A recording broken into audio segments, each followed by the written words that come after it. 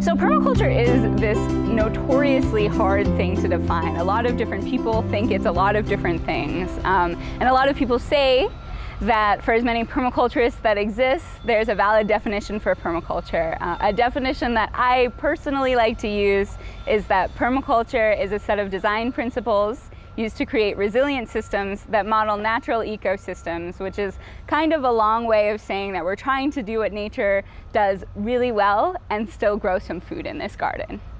Permaculture has three ethics, um, which are very ingrained in this garden. Those are earth care, fair share, and people care. Um, and also 12 principles, like the principle of multiple functions. That principle is we're trying to, everything that we grow here or structure here has more than one function, ideally three. Um, there are principles like accept feedback and self-regulate. So that can be interpreted in a way of people regulating with each other, which is really important for the health of a garden, but also accepting feedback from nature. Um, and I think at the heart of permaculture, it's more than just about sustainability. It's about regeneration. And we're talking, when we're talking about mitigating climate change, that's a, a really important conversation that needs to start happening.